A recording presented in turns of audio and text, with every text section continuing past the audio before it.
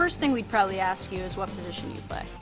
If you're a middle infielder, we tend to suggest gloves that are around 11 and a half to 11 and 3 quarter inches. With a lot of our infield gloves, they tend to have a shallower pocket. So if you play shortstop or second base, um, you want to be able to get the ball in and out in a manner where it's fast. The 1786 just in general is a pretty popular middle infielder glove. Um, some of our guys have really started taking to the SuperSkin model though because it gives a little bit of a lighter feel.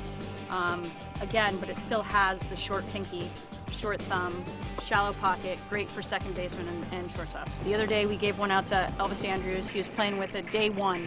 Took it out, got some great feedback from him on it. It's a great glove too, you know. To take ground balls, like it make you take the ground ball, you know, besides trying to be quick.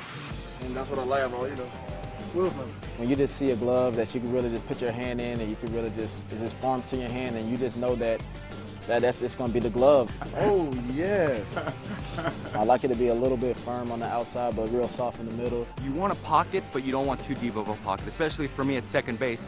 On double plays, I got to be quick getting the ball out of my glove, so I don't want it to get caught too deep. Our gloves have dual welting, which keeps these, these fingers from bending back and allows you to make catches like you know those those cone catches because you have the stability in your pocket and you're able to make those leaping catches. For outfielders, they tend to prefer a longer glove, so a 12 inch to 12 and a half inch glove.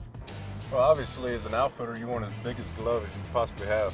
You're running on dead sprint to catch balls in the gap or you know down the line, and you want to have as much room as you possibly can to help haul it in. One of the most popular pitcher's models we've had is the A2K V2.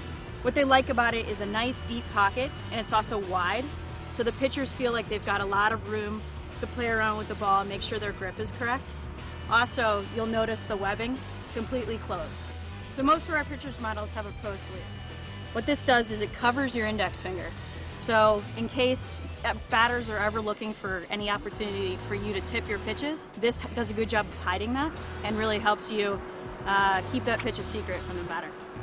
The glove I use is, is the uh, 1796, uh, and the thing I really like about it is that it's got a deep pocket. So when I'm when I'm pitching, I feel like when I'm in there, I can I have my hand all the way in the glove, and I can really get in there for like the changeup grip or the curveball grip, and not really give give anything away. The the glove feels very durable, and overall, just feels to me like a great, well-rounded glove that any pitcher would be really stoked to use.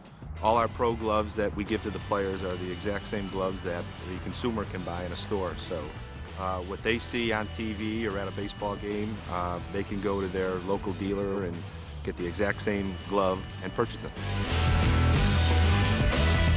People know right away when a glove fits them right. Take the time to research it, take the time to think about um, what your needs are when it comes to your glove.